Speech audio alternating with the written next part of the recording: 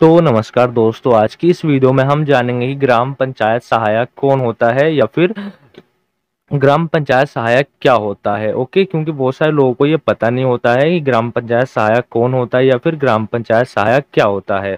तो ग्राम पंचायत सहायक का पद ग्रामीण क्षेत्रों के लिए बहुत ही महत्वपूर्ण पद होता है। इस पद पर आसीन व्यक्ति गाँव के लोगों की समस्याओं को सुनकर या फिर उनका मुआयना करके लिखित रूप में समस्याओं को प्रधान और सचिव तक पहुँचाने का कार्य करते हैं। इसे हम ग्राम प्रधान का एक कार्यवाहक या सहयोगी भी कह सकते हैं।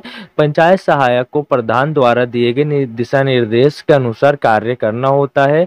पंचायत सहायक संबंधित ग्राम सभा के सॉरी गाइस मनरेगा में कार्य कर रहे व्यक्तियों का लेखा जोखा रखना, उनका कार्य देखना और किसी भी योजना के पात्र व्यक्तियों को योजना संबंधी जानकारी प्राप्त करना अथवा किसी ग्रामीण व्यक्ति के साथ दुर्घटना हो जाने पर उसे मुआवजा दिलाने में मदद करना।